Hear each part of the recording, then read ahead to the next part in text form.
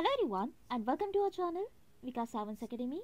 In this video, we are going to start daily the Hindu vocabulary word tricks of 19 September 2022. But before starting this session, if you have not subscribed our channel, then subscribe it and press the bell icon for further notifications. So let's start with the first trick. आज का हमारा first word है sobering sobering का मतलब होता है serious thoughtful और grave. Grave का मतलब भी सीरियस ही होता है।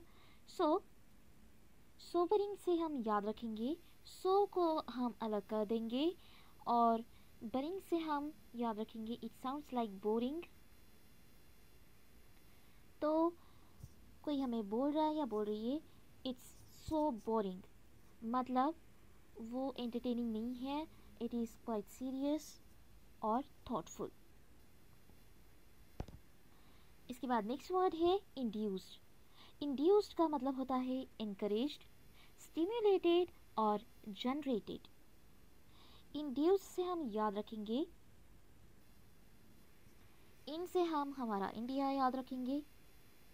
उसके बाद जो ड्यूस्ड दिया है इट साउंड्स लाइक डोज तो हमारे इंडिया में जो डोज दिए जाते हैं ना, वो इनक्रेज होते हैं। डोज लेने के बाद कोई भी इंकरेज हो जाता है स्टिमुलेटेड और जनरेटेड हो जाते हम ऐसे याद रखेंगे।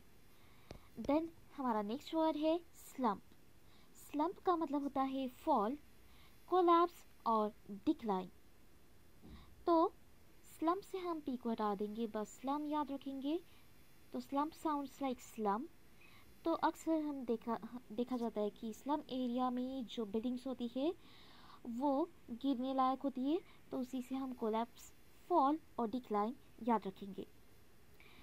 उसके बाद हमारा नेक्स्ट वर्ड है बोर जिसका मतलब होता है ड्रिल पंक्चर और पियर्स तो बोर से हम याद रखेंगे इट साउंड्स लाइक बोरिंग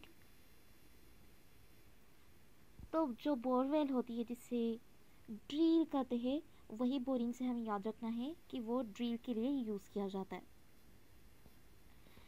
इसके बाद नेक्स्ट वर्ड है रॉयलिंग रॉयलिंग का मतलब होता है मिक्सिंग शेकिंग और स्टीरिंग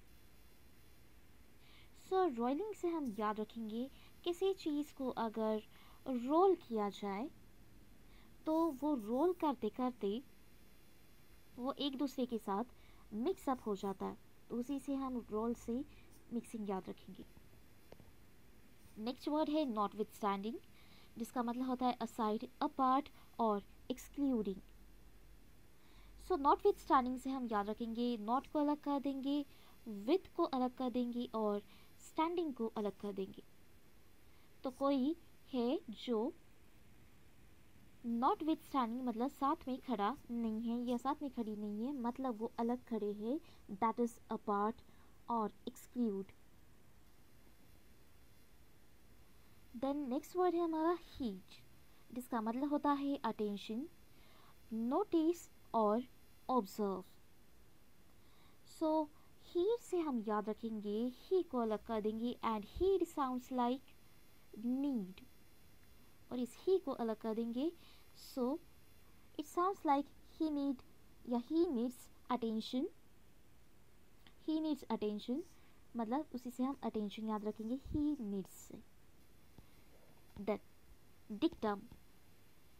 डिक्टम का मतलब होता है स्टेटमेंट सेइंग और dictate so this dict sounds like it itself sounds like dictate तो उसी से हम याद रखेंगे, कोई स्टेटमेंट या कोई सेइंग हम डिक्टेट कर रहे मतलब वो जैसे कि वैसे बोल रहे हैं हम that is dictum then next word है रिटरेटिंग रिटरेटिंग का मतलब होता है रिपीटिंग रीस्टेटिंग और रीटेलिंग तो जैसे कि मैंने आपको कई सेशंस में बताया री अगर पहले दिया है तो उसका वही मतलब निकालो इट साउंड्स लाइक रिपीटिंग और यहाँ पर रेटिंग दिया है तो किसी रेटिंग को बार बार रिपीट किया जा रहा है दैट इज़ रिपीटिंग और रीस्टेटिंग उसके बाद नेक्स्ट वर्ड है हेज हेज का मतलब होता है बॉर्डर इवेट और वर्ज तो हेज से हम याद रखेंगे, बस ये एज को याद रखेंगे हम. एज का मतलब होता है बॉर्डर तो ये थी आज की हमारी 19 सितंबर 2022 की the Hindu vocabulary with mnemonics so that's all for today thank you